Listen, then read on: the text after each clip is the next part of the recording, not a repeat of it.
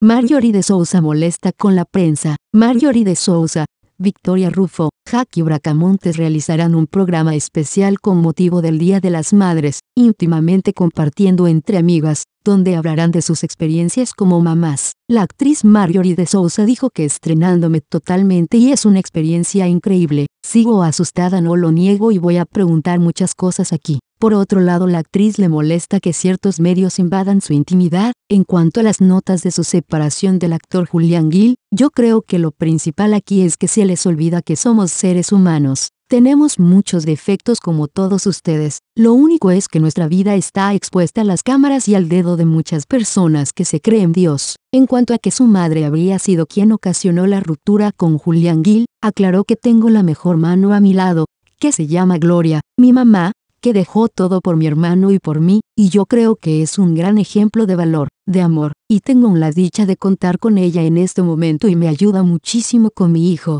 por la metiche.com 27 de abril de 2017.